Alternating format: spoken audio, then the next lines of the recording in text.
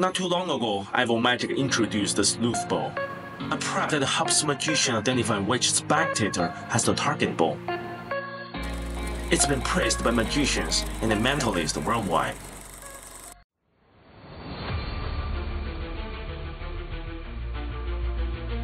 Now, by popular demand, we present you a smaller and more portable version, the Sleuth Ball's Mini.